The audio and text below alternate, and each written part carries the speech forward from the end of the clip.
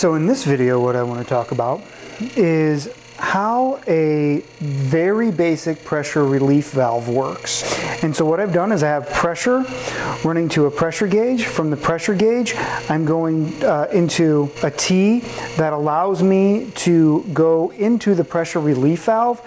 And then from here, I'm gonna go back to tank. So I'm gonna zoom in on the pressure relief valve so you can see how it operates. All right. So you can see here that the minimum this is set up to run is three bars, okay?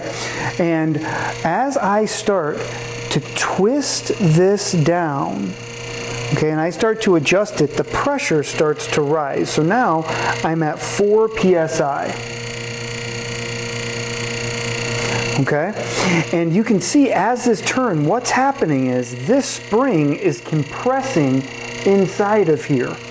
So as I keep turning it, the pressure gets higher because the pump has to supply enough pressure to overcome the load here. Okay? And so the load is dictating the spring compressing that we need at this point five bars to get create flow.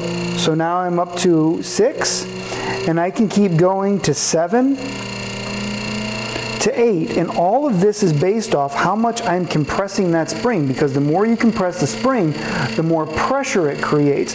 This is the perfect example of fluid pressure being compared to spring pressure.